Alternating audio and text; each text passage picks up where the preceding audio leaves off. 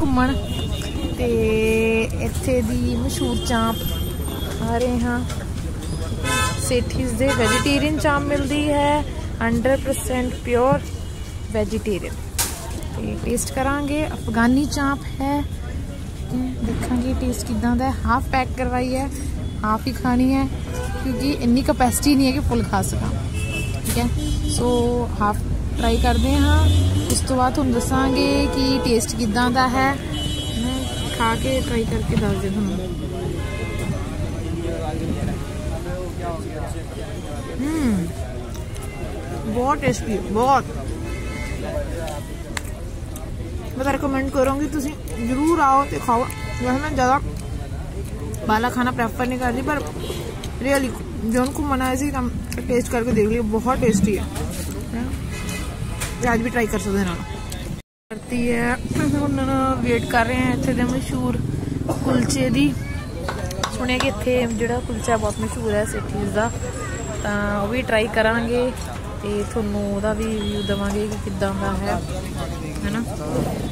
ਕੁਲਚਾ ਵੀ ਖਾ ਕੇ ਟਰਾਈ ਮਾਰਦੇ ਆ ਕਿ ਕਿੱਦਾਂ ਦਾ ਕੁਲਚਾ।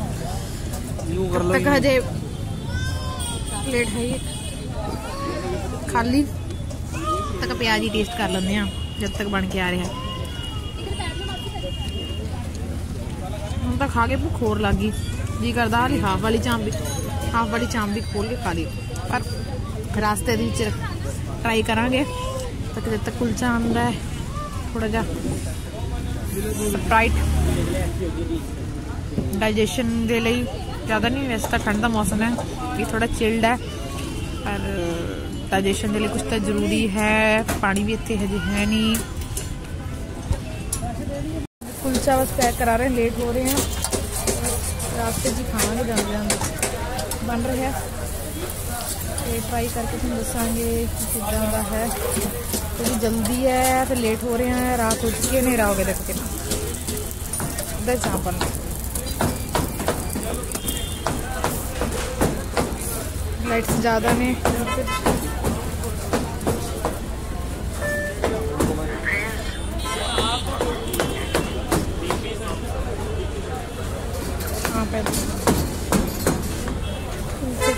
जल्दी जल्दी गई लेट हो रहे हैं।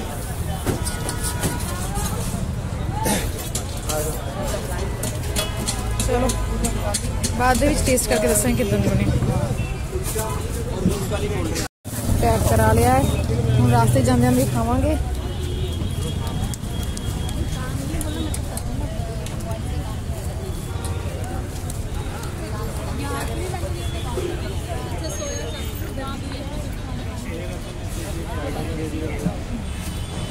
ਬਾਕੀ ਸਾਰੇ ਵੀ ਲੱਗੇ ਹੋਏ ਨੇ ਖਾਣ।